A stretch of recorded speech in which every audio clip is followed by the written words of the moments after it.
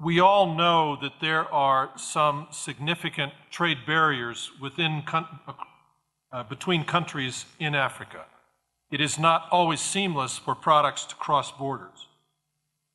This system will allow not only the private sector, but also governments to be engaged in creating digital customs clearance. And indeed, today we have national single windows. There are some countries, such as Singapore, such as Malaysia, that have been very aggressive in creating a electronic customs clearance with anytime products go in and out of their country. You have regional single windows, and ASEAN is a good example of that. Singapore, Malaysia, and ASEAN are all supporters of GCEL because they see a powerful opportunity to create one platform that allows national single windows, regional single windows, all to be part of the same system.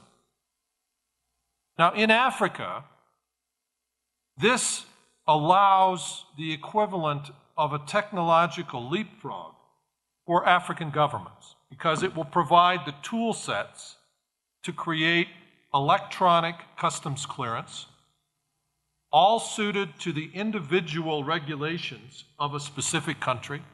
We don't set those regulations, the country sets those, but we facilitate the opportunity for products to meet all of those requirements before the product reaches the port or the border. So imagine, if you will, a truckload of products moving um, from Sudan to Ethiopia, when it reaches the border, all of the requirements of Ethiopia could have been met electronically in advance, which means that truck can cross the border very quickly. Now, all of that said, we can't solve the problem of some governments who may want to keep their border crossing slow. But what we will do is shed a light on where those problems are occurring, and then it's up to others to resolve them. But in terms of economic integration, the key to creating more intra African trade is efficiency and transparency. Our system provides both at the same time.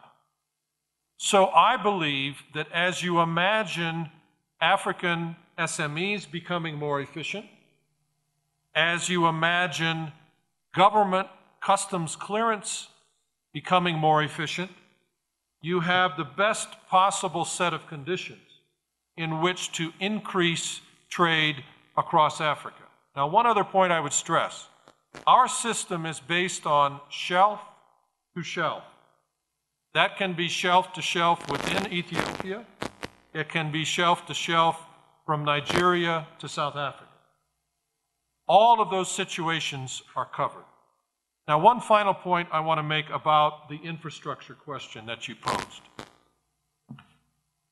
African governments will face the biggest single question in coming years in deciding which infrastructure to invest where.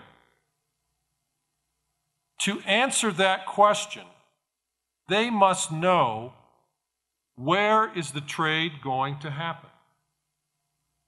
Imagine, if you will, in the Ivory Coast, where there are many cocoa producers. I'm trying to take an example that's close to your heart.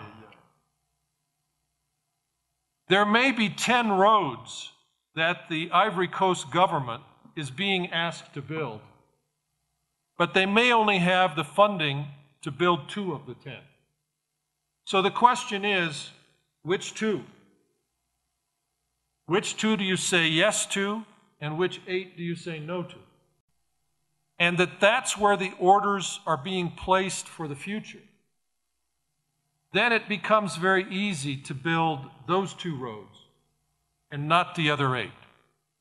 And that information available free of cost to the Cote d'Ivoire government is a very powerful base on which to make those decisions. one other point, and that is when you have this kind of information in real time about where current and future trade volume is going to be, you also attract private sector investment. And the best thing that can happen for African governments is to have the private sector come and invest in some of that infrastructure themselves and diminish the burden on national governments and on international donors. This system will do all of that.